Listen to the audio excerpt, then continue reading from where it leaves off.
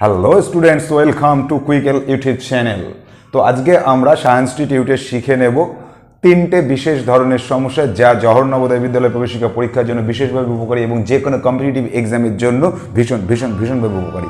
আজকে যে তিনটে সমস্যা নিয়ে আলোচনা করব, সমস্যা তিনটি কোন কোন চ্যাপ্টারকে কভার করে দেয়। তো সমস্যা তিনটি দেখার পরে আমরা এটা বুঝতে পারব যে লাভ ক্ষতি, সরল সুদ এবং শতকরা হার। এই তিনটে চ্যাপ্টারের যে কোনো অঙ্ককে কভার করে দিতে পারে এই তিনটি সমস্যা। তো আজকের এই তিনটি সমস্যা আমরা নিশ্চিত নবোদয় নামক বই থেকে সংগ্রহ করিনি। এই তিনটি সমস্যা আমাদেরই অনলাইন ক্লাস করছে একজন স্টুডেন্ট স্বস্তিকা। স্বস্তিকা এই তিনটে অঙ্ক আমাকে পাঠিয়েছে যে, স্যার, এই তিনটে অঙ্কের সমাধান একটু করে দিতে হবে। তো আমরা আবার রিভাইজ করছি। আমরা চলে যাব আমাদের আগের এপিসোডগুলোতে সেখানে কিন্তু এই তিনটে সমস্যার সমাধান আমরা অলরেডি করেছি, কিন্তু আজকে আবার নতুন করে শিখব নতুনভাবে শিখব। তো চলো আমরা দেখে নেব যে সমস্যা তিনটি কী কী। আমরা ওয়ান বাই ওয়ান সমস্যাগুলিকে সমাধান করব। তো দেখো, প্রথম সমস্যাটি কি বলছে? যে কত টাকার থ্রি পার্সেন্ট বার্ষিক ফাইভ পার্সেন্ট সরল সুদের হারে ছয় বছরে সুদে আসলে সাত হাজার আটশো টাকা হবে। তো কত টাকার থ্রি পার্সেন্ট এই জায়গাটা প্রথমে ভুলে যাই। প্রথমে আমরা কি করি? যে কত টাকা ফাইভ পার্সেন্ট সরল সুদের হারে ছয় বছরে সুদে আসলে সাত হাজার আটশো টাকা হয়। এটুকু আমরা করতে পারি। অলরেডি আমরা শিখেছি। আমাদের পুরোনো এপিসোডগুলো তোমরা কুইকেল চ্যানেলে একবার দেখে নিতে পারো। তো দেখো যে কত টাকার সেটা আমরা জানি না। এবং আমরা আর কি জানি না? আমরা জানি না যে কত টাকা সুদ হচ্ছে। সুদ জানি না, আসল জানি না। তাহলে সুদ এবং আসল যদি আমাদের না জানা থাকে, তাহলে আমরা কীভাবে তার সমাধান করব? এক্স ধরে অবশ্যই সমস্যার সমাধান করা যেতে পারে, কিন্তু আমরা এক্স ধরে করব না। এক্স ধরে না করে আমরা পাটিগণিতির নিয়মে সমস্যা সমাধান করব। আমাদের নিশ্চিত নবোদয় নামক বইয়ে এই ধরনের সমস্যা প্রচুর আছে। তো এবার দেখো যে আমরা ধরে নিতে পারি যে আসল টাকাটা একশো টাকা। যদি একশো টাকা আসল টাকা হয়, তাহলে বার্ষিক ফাইভ পার্সেন্ট সরল সুদের হারে ছয় বছরে কত টাকা সুদ হয়? যদি একশো টাকা আসল হয়, তাহলে পাঁচ পার্সেন্ট হারে ছয় বছরের সুদ হয় তিরিশ টাকা। এটা একদম ইজি সেজন্য একশো টাকাকে আসল টাকা হিসেবে আমরা ধরে নিই। তাহলে একশো টাকা যদি আসল টাকা হয়, তাহলে তার ফাইভ পার্সেন্ট সরল সুদের হারে ছয় বছরের সুদ হয় তিরিশ টাকা। কিন্তু আমার এখানে দেওয়া আছে কি সুদ আর আসল মিলিয়ে কত হচ্ছে সেটা আমার জানা আছে। তাহলে আমার এখান থেকেও সুদ এবং আসল মিলিয়ে কত হয় সেটা জানতে হবে। তাহলে আমার একশো টাকা যদি আসল হয় আর তিরিশ টাকা যদি সুদ হয়, তাহলে সুদ এবং আসল মিলিয়ে হয় একশো তিরিশ টাকা। আমরা কিন্তু সমস্যা সমাধানের প্রায় কাছে চলে এসেছি। একশো তিরিশ টাকা সুদাসল হয়, এটা আমি জানি, আবার এটা আমি জানি সুদাসল এখান থেকে ঐকিক নিয়মে চলে যাও। তাহলে একশো তিরিশ টাকা যদি সুদাসল হতে হয়, তাহলে আসল কত হতে হয়? আসল হতে হয় একশো টাকা। এক টাকা যদি সুদাসল হতে হয়, তাহলে আসল হতে হয় একশো বাই একশো তিরিশ টাকা। আর সাত হাজার আটশো টাকা। সাত হাজার আটশো টাকা যদি সুদ আসল হতে হয়, তাহলে আসল কত হয়? একশো গুণ সাত হাজার আটশো ভাগ একশো তিরিশ। এখান থেকে একটা শূন্য, এখান থেকে একটা শূন্য, কাটো। তেরোর ঘরের নামটা তোমাদের মুখস্থ আছে। তোমরা এক থেকে তিরিশ পর্যন্ত নামটা মুখস্থ করে রেখেছো। যে কোনো কম্পিটিটিভ এক্সামে এগিয়ে থাকার জন্য, নিমেষের মধ্যে সমাধান করার জন্য, সময়কে সাশ্রয় করার জন্য এবং সঠিক উত্তরে পৌঁছে যাওয়ার জন্য। তাহলে তেরোর নামটা তোমাদের মুখস্থ। একবার তোমরা একটু পড়ো। পাঁচ তেরো পঁয়ষট্টি, ছয় তেরো, আটাত্তর। পাঁচ তেরো পঁয়ষট্টি কেন বললাম? এক থেকে পাঁচ পর্যন্ত পড়ার দরকার নেই। পাঁচ তেরো পঁয়ষট্টি, এটাকে যদি মনে রাখতে পারি, তাহলে পাঁচের পরে ছয়, সাত, আট, এটা খুব তাড়াতাড়ি বের করতে পারি আমরা। তাহলে পাঁচ তেরো পঁয়ষট্টি ছয় তেরো আটাত্তর। তাহলে আমি এখান থেকে কেটে এটাকে ষাট করতে পারছি। তাহলে ছয়ের পরে তিনটে শূন্য। ছ হাজার টাকা। তাহলে আমি এই পর্যন্ত চলে আসতে পারলাম যে সাত হাজার আটশো টাকা সুদ আসল হতে হবে, বার্ষিক ফাইভ পার্সেন্ট সরল সুদের হারে এবং ছয় বছরে। তাহলে তার আসল হতে হবে ছয় হাজার টাকা। এবার আমরা সমস্যায় চলে যাব, যে সমস্যা কি বলছে? কত টাকার থ্রি পার্সেন্ট কত টাকার থ্রি পার্সেন্ট এর ফাইভ পার্সেন্ট সরল সুদের হারে ছয় বছরে সুদ আসল সাত হাজার আটশো টাকা হয়? মানে কত টাকার সুদাসল এটা? সেটা হচ্ছে ছয় হাজার টাকার। এবার প্রশ্নটা আবার দেখো যে কত টাকার থ্রি পার্সেন্ট এই টাকাটা? কত টাকার থ্রি পার্সেন্ট এই টাকাটা? এর ফাইভ পার্সেন্ট সরল সুদের হারে ছয় বছরে সুদাসল এটা হয়। তাহলে আমরা দুটো সমস্যা সমাধান করব, সেই দুটো সমস্যাকে একত্রে দিয়ে দেওয়া হয়েছে। সেই একত্রে সমস্যার সমাধান করতে গিয়ে আমাদের কাছে জটিল এবং কঠিন মনে হয়েছে। স্বস্তিকা, ভালো স্টুডেন্ট ও একদম নতুন অবস্থাতে অনেক কঠিন কঠিন সমস্যার সমাধান করছে এবং তার কাছে এই অঙ্কটা কঠিন বলে মনে হয়েছে। কেন মনে হয়েছে? যদি এটা বলা হতো যে কত টাকা ফাইভ পার্সেন্ট সরল সুদের হারে ছয় বছরে সুদে আসলে সাত হাজার আটশো টাকা হয়, তাহলে ও আমাদের নিশ্চিত নবোদয় নামক বইটি সংগ্রহ করেছে, সেখান থেকে সমাধান কৌশল শিখেছে এবং আমাদের কুইকেল ইউটিউব চ্যানেলে এই ধরনের সমস্যার সমাধান করা আছে, সেটা দেখে ও এইটুকু করতে পারতো যে একশো টাকা আসল টাকা ধরে নিয়ে আমি ছ হাজার টাকা আসল টাকা বের করতে পারতাম। এটুকু ও বের করে ফেলেছে হয়তো। এবার আর একটা সমস্যা আমাদের শতকরা হারের চ্যাপ্টারে কত টাকার থ্রি পার্সেন্ট ছ হাজার টাকা? এই সমস্যাটিও যদি ওকে দেওয়া হয় তাহলে ও সমাধান করতে পারবে, কারণ আমাদের কাছে ম্যাজিক সূত্র রয়েছে। সেই ম্যাজিক সূত্রের সাহায্যে কত টাকার থ্রি পার্সেন্ট ছ হাজার টাকা এটা নির্ণয় করতে পারবে। তোমরাও পারবে। কিন্তু এই দুটো সমস্যাকে একত্রে দেওয়াতে জটিল এবং কঠিন হয়ে গেছে এই সমস্যাটি। জটিলতা বৃদ্ধি হয়েছে, কিন্তু জটিলতাকে একদম সহজে তুমি সমাধান করে ফেলো। জটিলতা সরলতায় পরিণত করো। চলে আসো। কত টাকার থ্রি পার্সেন্ট ছ হাজার টাকা। ম্যাজিক সূত্রে চলে যাও। ম্যাজিক সূত্র ওয়ানে এত এর এত পার্সেন্ট সমান সমান এত। এবার কোনটা জানা নেই? সে নিয়ম আমরা জানি, কোনটা জানা আছে, কোনটা জানা নেই, কোনটা জানা না থাকলে কি করতে হয়? কত টাকা এর থ্রি পার্সেন্ট সমান সমান ছ হাজার টাকা? কত টাকা দেয়া নেই, তাহলে এক্স ধরবো। তাহলে এক্সের থ্রি পার্সেন্ট সমান সমান ছ হাজার তাহলে এক্স ইকুয়াল টু ছ হাজার ইন্টু একশো বাই থ্রি তিন দিয়ে কাটলে দুই। এক, দুই, তিন। এক, দুই, তিন। তাহলে দুইয়ের পরে এক, দুই, তিন, এক, দুই। একক দশক শতক হাজার অযুত লক্ষ। দুই লক্ষ।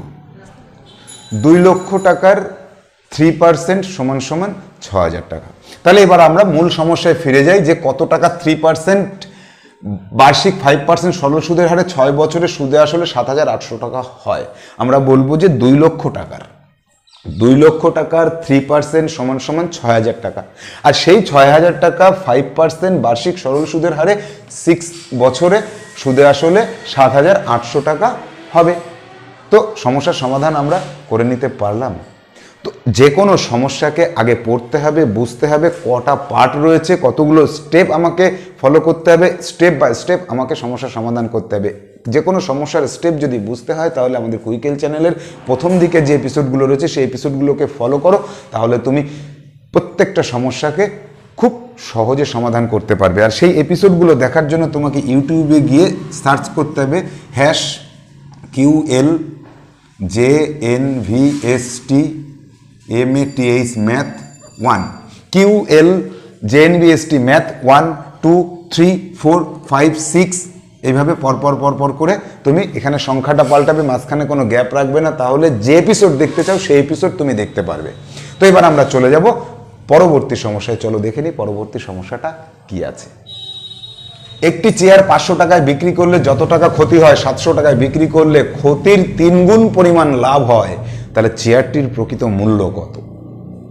তো এই সমস্যা সমাধানের জন্য একটা শর্টকাট মেথড রয়েছে, সেই শর্টকাট মেথডে আমরা পৌঁছাবো। কিন্তু তার আগে আমরা এটাকে ব্যাখ্যামূলক পদ্ধতিতে একবার দেখে নেব। ব্যাখ্যামূলক পদ্ধতিটা তোমাকে অবশ্যই ফলো করতে হবে এবং মন দিয়ে বুঝতে হবে। তারপরে সেই ব্যাখ্যা থেকে শর্টকাটে যখন পৌঁছাবো, তখন তুমি পরবর্তী সমস্যাগুলো আর ব্যাখ্যায় যাবে না। পরবর্তী সমস্যাগুলো তুমি শর্টকাটে শিখে নেবে। কিন্তু শর্টকাটে যাওয়ার আগে বিস্তারিত আলোচনা অবশ্যই অবশ্যই অবশ্যই প্রয়োজন আছে। তো দেখো, আমরা কি পাচ্ছি? একবার পাচ্ছি পাঁচশো টাকা, একবার পাচ্ছি সাতশো টাকা। পাঁচশো টাকায় ক্ষতি হচ্ছে, সাতশো টাকায় লাভ হচ্ছে। আর চেয়ারটির প্রকৃত মূল্যের মিডিলে কোনো একটা জায়গায় রয়েছে, এখান থেকে এখানে গেলে যত টাকা যত টাকা ক্ষতি হচ্ছে, এখানে গেলে এই টাকার তিনগুণ লাভ হচ্ছে। এই হচ্ছে সমস্যার মধ্যে রিলেশনশিপ এবার, এই রিলেশনশিপ থেকে আমরা চলে আসব এক্স ধরে। মনে করি এই টাকা থেকে এই টাকায় বিক্রি করলে এক্স টাকা ক্ষতি হয়। আবার এই টাকা থেকে এই টাকায় বিক্রি করলে তার তিন গুণ থ্রি এক্স টাকা লাভ হয়। তাহলে এই পাঁচশো টাকা আর এই সাতশো টাকা, এর মাঝখানের সংখ্যাটি থেকে এখানে আসলে এক্স টাকা কম হচ্ছে, এখানে গেলে থ্রি এক্স টাকা বেশি হচ্ছে। তাহলে এই দুটোর মধ্যে কত দূরত্ব হচ্ছে? এক্স প্লাস থ্রি এক্স এইটুকু এক্স আর এটুকু থ্রি এক্স তাহলে ফোর এক্স তাহলে পাঁচশো টাকায় বিক্রি করা আর সাতশো টাকায় বিক্রি করা, এই দুটোর মধ্যে ডিফারেন্স কতটা? ফোর এক্স টাকা। আবার এই দুটোর মধ্যে ডিফারেন্স কত আমরা সেটা জানি? পাঁচশো আর সাতশোর মধ্যে ডিফারেন্স হচ্ছে দুশো টাকা। সাতশো টাকার তুলনায় পাঁচশো টাকা কত কম? দুশো টাকা কম। আবার এখান থেকে যে রিলেশন পাচ্ছি, এটুকু এক্স আর এটুকু তার তিন গুণ থ্রি এক্স এক্স আর থ্রি এক্স মিলে ফোর এক্স তাহলে সাতশো টাকা থেকে পাঁচশো টাকা কত কম? ফোর এক্স টাকা কম। সাতশো টাকা থেকে পাঁচশো টাকা কত কম? দুশো টাকা কম। একই কথাকে দুবার বললাম। একই প্রশ্নের দুটো উত্তর যদি হয়, তাহলে উত্তর দুটো সমান হয়। সাতশো টাকা থেকে পাঁচশো টাকা কত কম? প্রশ্ন আমার একটা। সাতশো টাকা থেকে পাঁচশো টাকা কত কম? এটাই হচ্ছে আমার কাছে প্রশ্ন। তোমাদের কাছে প্রশ্ন করছি আমি যে সাতশো টাকা থেকে পাঁচশো টাকা কত কম? তোমরা একবার উত্তর দিচ্ছ যে দুশো টাকা কম। খুব ভালো কথা। আবার আরেকজন স্টুডেন্টকে জিজ্ঞেস করছি, বলো তো, সাতশো টাকা থেকে পাঁচশো টাকা কত কম? সে উত্তর দিচ্ছে, স্যার ফোর এক্স টাকা কম। তাহলে আমি বলতে পারি যে এই ফোর এক্স সমান সমান দুশো। তাহলে আমি সমস্যার সমাধান করব কীভাবে? এক্স ইকুয়াল টু দুশো বাই চার। পঞ্চাশ টাকা এক্স ইকুয়াল টু পঞ্চাশ টাকা। তাহলে আমার এইটা যদি পঞ্চাশ টাকা কমে বিক্রি করি, আমার আসল দামটা তাহলে আমি নির্ণয় করতে পারব। পাঁচশো টাকায় বিক্রি করাতে আমার পঞ্চাশ টাকা ক্ষতি হয়ে গেছে। কত টাকা ক্ষতি হলো? পঞ্চাশ টাকা ক্ষতি হলো। কত টাকায় বিক্রি করে? পাঁচশো টাকায় বিক্রি করে। তাহলে পাঁচশো টাকাতে যদি আমার পঞ্চাশ টাকা ক্ষতি হয়, তাহলে পাঁচশোর পরে আরও পঞ্চাশ টাকা যদি আমি এগিয়ে যাই, তাহলে আমার আসল দামে চলে আসব। তাহলে আমার এই পাঁচশো টাকা বিক্রি করেছি, তাতে আমার পঞ্চাশ টাকা ক্ষতি হয়েছে, এটা ক্ষতি হয়ে গেল। তাহলে এই পাঁচশোর সাথে পঞ্চাশ যোগ করলে পাঁচশো পঞ্চাশ টাকা, এটা হচ্ছে প্রকৃত মূল্য হয়। তাহলে প্রকৃত মূল্য পাঁচশো পঞ্চাশ টাকা যদি হয়, তাহলে পঞ্চাশ টাকা ক্ষতিতে বিক্রি করেছি। বলো তো কত টাকায় বিক্রি করলাম? পাঁচশো টাকায় বিক্রি করলাম। এবার আমাকে প্রুফ করে দেখতে হবে যে সাতশো টাকায় বিক্রি করলে কি হয়। আমার দাম হচ্ছে পাঁচশো পঞ্চাশ টাকা। আমি যদি সাতশো টাকায় বিক্রি করি, তাহলে আমার দেড়শো টাকা লাভ হচ্ছে। এদিকে লস হচ্ছিল কত? পঞ্চাশ টাকা। পঞ্চাশ টাকা লস হচ্ছিল আর সাতশো টাকায় দেড়শো টাকা লাভ হচ্ছে। তাহলে পঞ্চাশে তিন গুণ করলে কি দেড়শো হয়? হ্যাঁ হয়। তাহলে আমার চেয়ারটির প্রকৃত মূল্য সাড়ে পাঁচশো টাকা বা পাঁচশো পঞ্চাশ টাকা। পঞ্চাশ টাকা কমে বিক্রি করলে পাঁচশো টাকা হয়। আবার যদি দেড়শো টাকা বেশিতে বিক্রি করি, সাতশো টাকা হয়। তাহলে আমার এই জায়গাটাকে কি মেনটেন করছে? যে পাঁচশো টাকায় বিক্রি করলে যত টাকা ক্ষতি হয়, যত টাকা ক্ষতি হয়, সাতশো টাকায় বিক্রি করলে তার তিন গুণ। পঞ্চাশ গুণ তিন সমান সমান দেড়শো টাকা লাভ হয়। দেখো, মিলে গেছে। পাঁচশো টাকায় বিক্রি করলে পঞ্চাশ টাকা ক্ষতি হয়, তাহলে কেনা দাম হচ্ছে পাঁচশো পঞ্চাশ টাকা। পাঁচশো পঞ্চাশের থেকে সাতশো টাকায় বিক্রি করলে দেড়শো টাকা লাভ হয়, দেড়শো টাকা কিন্তু যে টাকা ক্ষতি হয়েছিল পঞ্চাশ টাকা, তার তিন গুণ। তো আমরা সমস্যার সমাধান করে ফেললাম। আশা করছি তোমরা সবাই বুঝতে পারছ এবং স্বস্তিকা, যার অনুরোধে আজকের এই ক্লাসটি করা হচ্ছে, সে স্বস্তিকা তুমিও নিশ্চয়ই বুঝতে পারছ। এবার চলে যাব আমরা। তার পরবর্তী সমস্যা, আজকের ক্লাসের শেষ সমস্যা, সেটি কি সেটা দেখে নেব। যে পাঁচ টাকায় ছয়টি লেবু কিনে ছয় টাকায় পাঁচটি হিসেবে বিক্রি করলে লাভের শতকরা পরিমাণ কত হয়? এই সমস্যাটি একটু লক্ষ্য করো। এই জায়গাটা লক্ষ্য করো। হিসাবে ছয়, পাঁচ টাকায় ছয়টি লেবু কিনে ছয় টাকায় পাঁচটি লেবু বিক্রি করলে লাভের শতকরা পরিমাণ কত? যদি সেই সমস্যা সমাধান করতাম, তাহলে যে উত্তর আসতো। আর যদি বলি ছয় টাকায় পাঁচটি হিসাবে, তাহলে অন্য উত্তর আসবে। ছয় টাকায় পাঁচটি হিসাবে বলতে এখানে যতগুলো লেবু কিনেছি, এখানে পাঁচশোটা লেবু কিনতে পারি, ছশোটা লেবু কিনতে পারি, এক হাজারটা লেবু কিনতে পারি। সবকটা লেবুই বিক্রি করেছি, ছয় টাকায় পাঁচটা করে। ছয় টাকা করে দাও পাঁচটা করে নিয়ে যাও। ছয় টাকা করে দাও পাঁচটা করে নিয়ে যাও। এইভাবে সব কটা লেবু, পাঁচ হাজার, দশ হাজার, যত লেবু ছিল সব বিক্রি করেছি। আর যদি হিসাবে কথাটা না থাকতো, তাহলে আমি কি করতাম? ছয় টাকায় পাঁচটি বিক্রি করেছি। মানে ছয় টাকাতে মাত্র পাঁচটাই বিক্রি করেছি এবং ওই পাঁচটাতে আমার কত লাভ হয়েছে সেটা। আর ছয় টাকায় পাঁচটি হিসেবে বিক্রি করেছি, তাহলে কত? এবার যদি বলে শতকরা কত হার, তাহলে কিন্তু উত্তর একই আসবে। যদি বলতাম পাঁচ টাকায় ছয়টি কিনে ছয় টাকায় পাঁচটি বিক্রি করলে কত টাকা লাভ হলো? সেই লাভের পরিমাণটা কিন্তু নির্দিষ্ট হতো। আর যদি বলা হয় যে ছয় টাকায় পাঁচটি হিসাবে বিক্রি করে মোট কত টাকা লাভ হলো, তাহলে কতগুলো লেবু ছিল তার উপর ডিপেন্ড করে সংখ্যাটা পাল্টে যাবে। কিন্তু শতকরা পরিমাণ যদি বলা হয়, তাহলে তুই পাঁচ হাজার লেবু বেচলেও যে শতকরা লাভ হবে, এক হাজার লেবু বেচলেও সেটা হবে ওই পাঁচ টাকায় ছয়টা কিনে ছয় টাকায় পাঁচটা বিক্রি করলেও সেই একই পরিমাণ লাভ হবে। তাহলে এবার আমরা দেখব যে এই সমস্যার সমাধান করব কীভাবে। ক্রয় মূল্য। আর বিক্রয় মূল্য। আর লাভ। এই তিনটে বিষয় আমাদের জানতে হবে। তো এখানে পাঁচ টাকায় ছয়টি আর ছয় টাকায় পাঁচটি যেটাই থাকুক না কেন, আমার একটা লেবুর ক্ষেত্রে হিসাব করতে হবে। একটা লেবু কত টাকায় কিনলাম, একটা লেবু কত টাকায় বিক্রি করলাম, তাহলে আমি ক্রয় মূল্য পাবো, বিক্রয় মূল্য পাবো। একটা লেবু কেনা দাম আর একটা লেবুর বিক্রি দাম, এই দুটোর মধ্যে যা ডিফারেন্স হবে সেটাই আমার লাভ অথবা লোকসান, যেটাই হোক সেটা আমি পেয়ে যাব। তাহলে আমার এই তিনটে জিনিস যদি আমি জেনে যাই, সমাধান করতে কোনো অসুবিধা নেই, শতকরা হার নির্ণয় করতে বলেছে, তাহলে একটা লেবুর ক্রয় মূল্যটা বের করতে হবে আগে। একটা লেবুর ক্রয় মূল্য কত? পাঁচ টাকায় ছটি কিনেছি। তাহলে আমি ছয়টা লেবু কিনেছি পাঁচ টাকা দিয়ে। দেখো, ছয়টা লেবু কিনেছি, পাঁচ টাকা দিয়ে, তাহলে একটা লেবু কিনেছি কত? পাঁচ বাই ছয় এত টাকায়। একটা লেবু কিনতে আমার খরচ হয়েছে পাঁচ বাই ছয় টাকা। বিক্রি, ছয় টাকায় পাঁচটা লেবু বিক্রি করেছি। তাহলে পাঁচটা লেবু বিক্রি করেছি ছয় টাকায়, একটা লেবু বিক্রি করেছি সিক্স বাই ফাইভ টাকায়। একটা লেবু। একটা একটার ক্ষেত্রেই কিন্তু বিচার করছি। তাহলে একটা লেবু কিনতে খরচ হলো এত টাকা, সেই লেবুটা বিক্রি করলাম এত টাকায়, তাহলে আমার লাভ হলো না লস হলো? এখানে আমরা বুঝতেই পারছি, পাঁচকে ছয় দিয়ে ভাগ করলে যে মানটা হয় একের থেকে কম হয়, ছয়কে পাঁচ দিয়ে ভাগ করলে যে মানটা হয় একের থেকে বেশি হয়, তাহলে বিক্রয় মূল্যটা এখানে বেশি পেলাম, আর ক্রয় মূল্যটা কম পেলাম।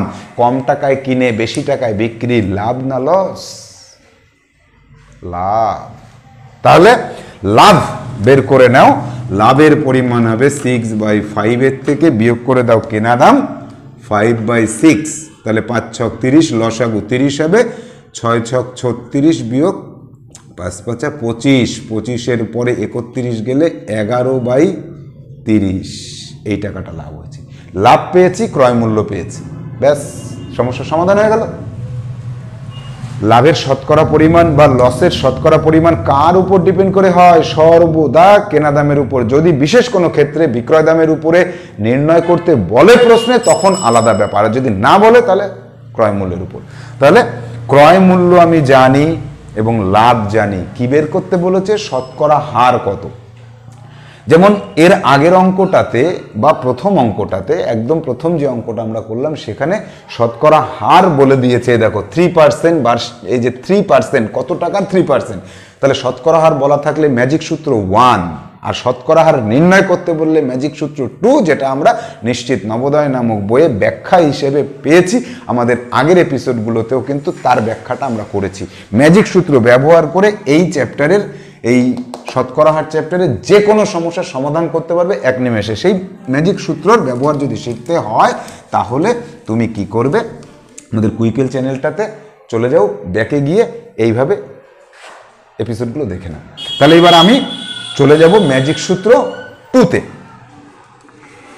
ম্যাজিক সূত্র টু যত বাই যার মধ্যে ইন্টু হান্ড্রেড পারসেন্ট শতকরা হার নির্ণয় করতে বলেছে। তাহলে আমার যত মানে কত টাকা লাভ হয়েছে? লাভ হয়েছে এগারো বাই তিরিশ টাকা। কার মধ্যে লাভ হয়েছে? কেনা দাম কত? ছটা লেবুর দাম পাঁচ টাকা। তাহলে আমার কেনা দাম কত বেরিয়েছিল? ছটা লেবুর দাম পাঁচ টাকা হলে ফাইভ বাই সিক্স টাকা। একটা লেবুর কেনা দাম ফাইভ বাই সিক্স টাকা। আর একটা লেবুতে লাভ করেছি এত টাকা। ইন্টু হান্ড্রেড পারসেন্ট এই, তাহলে এগারো বাই তিরিশ ভাগটাকে গুণ করে দাও six by five into hundred percent এটাই আমার লাভের শতকরা হার। এবার লাভের শতকরা হারকে আমরা একটু সরল আকারে নিয়ে আসি। ছয় দিয়ে তিরিশকে কাটো পাঁচ। পাঁচ দিয়ে একশোকে কাটো পাঁচ কুড়ি একশো, পাঁচ দিয়ে কুড়িকে কাটো চার। তাহলে চার গুণ এগারো সমান সমান চুয়াল্লিশ পার্সেন্ট। তাহলে আমরা বলতে পারছি যে চুয়াল্লিশ পার্সেন্ট বা শতকরা চুয়াল্লিশ টাকা লাভ হয়েছে বা চুয়াল্লিশ পার্সেন্ট লাভ হয়েছে। একশো টাকায় চুয়াল্লিশ টাকা লাভ হয়েছে। তাহলে আমি যদি পাঁচ টাকায় ছটা লেবু কিনি আর সেই লেবুগুলোকে ছ টাকায় পাঁচটা এই হিসেবে বিক্রি করে দিই, তাহলে আমার লাভের পরিমাণ হয় ফর্টি ফোর পার্সেন্ট তো আশা করছি এই তিনটে সমস্যার সমাধান তোমরা বুঝতে পেরেছ। এরকম যদি তোমাদের কোনো সমস্যা বুঝতে অসুবিধা হয়, তাহলে তোমরা অবশ্যই আমাকে হোয়াটসঅ্যাপ করে জানাও। তোমার অজানা সমস্যা সমাধান কৌশলটিকে সহজ প্রাঞ্জল ভাষায় চেষ্টা করব আমাদের সায়েন্স ইনস্টিটিউটের ক্লাসের মাধ্যমে তুলে ধরতে। এবং তোমার অজানা সমস্যা আরও প্রচুর স্টুডেন্টসদের কাছে সেটা উপকারী হয়ে যেতে পারে। আর এই যে ভিডিও তুমি দেখছ বা এই যে এপিসোডগুলি তুমি দেখছ, দেখার সঙ্গে সঙ্গে অন্যান্য সোশ্যাল নেটওয়ার্কিং মিডিয়াগুলো যেমন ফেসবুক বা হোয়াটসঅ্যাপে তুমি প্রচুর পরিমাণে শেয়ার করো, যাতে অন্য স্টুডেন্টসরা যারা আমাদের এই কুইকেল চ্যানেলটিকে এখনও আবিষ্কার করতে পারেনি, তারা এই কুইকেল চ্যানেল দেখে যে কোনো কম্পিটিটিভ এক্সামে যেন চান্স পায়। আর এর পরবর্তী ক্লাসটি যদি তুমি সবার আগে দেখতে চাও সাবস্ক্রাইব করে রাখো এবং বেল বাটনটি প্রেস করে রাখো। আমাদের নিশ্চিত নবোদয় নামক যে বইটির কথা আমি এই এপিসোডে উল্লেখ করেছিলাম, সেই বইতে প্রচুর সমস্যা রয়েছে এবং সমাধান কৌশল রয়েছে। সেই বইটি সংগ্রহ করতে গেলে হোয়াটসঅ্যাপ করো এবং অনলাইন ক্লাস বুকিং করতে গেলেও এই একই নাম্বারে হোয়াটসঅ্যাপ করে আমাদের জানাও। আজকের ক্লাস এখানে শেষ করছি। দেখা হবে পরবর্তী ক্লাসে ততদিন পর্যন্ত ভালো থাকো, সুস্থ থাকো, প্রচুর পরিমাণে প্র্যাকটিস করতে থাকো। কম্পিটিশনে নিজেকে যোগ্যতম করে গড়ে তোলো।